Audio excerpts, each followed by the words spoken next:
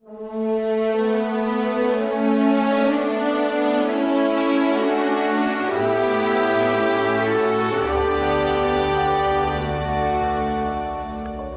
es mi Hijo, el amado. Siempre, igual que el primer domingo de Cuaresma escuchamos siempre las tentaciones de Jesús, el segundo domingo de Cuaresma escuchamos siempre la transfiguración.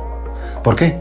Porque en ese momento Jesús va con sus tres amigos más íntimos, Pedro, Santiago y Juan, va a hacer oración al monte, la tradición dice que es el Tabor, y allí no solamente se manifiesta Jesucristo con su belleza, sino que además tiene una conversación con Moisés y con Elías acerca de su salida, de, lo que iba de su salida en Jerusalén, dice literalmente el Evangelio, decir, de su muerte, en definitiva, de su pasión, muerte y resurrección.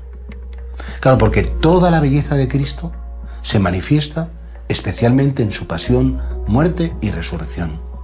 Somos invitados a seguir a Cristo no solamente por la belleza, digamos, luminosa, deslumbrante, sino también por la belleza que Él manifiesta en su alma cuando muere por nosotros. Mira, mi experiencia como sacerdote cuando, he ido a visitar enfermos, cuando he ido a visitar gente muy próxima a la muerte, es cuando muestran una humanidad y una dimensión sobrenatural y una valentía impresionante.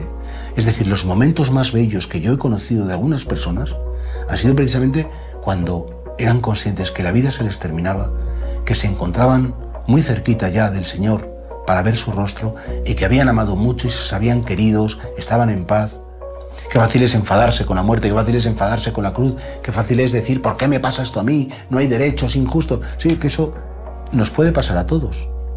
Pero qué difícil es mostrar la belleza del corazón cuando las cosas son difíciles.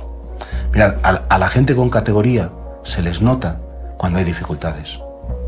La gente que tiene ese, peso, esa profundidad, la gente que tiene ese contenido maravilloso, pues es gente que, que, que sabe después, a la hora de la verdad, cuando vienen las cosas duras, estar en su sitio y no marcharse. Todos deberíamos preguntar cómo reacciono ante las dificultades, cómo reacciono ante las pequeñas cruces de cada día, la impertinencia de esta persona, la desobediencia de la otra, la chulería de no sé quién, esta enfermedad que no me deja hacer lo que me gustaría.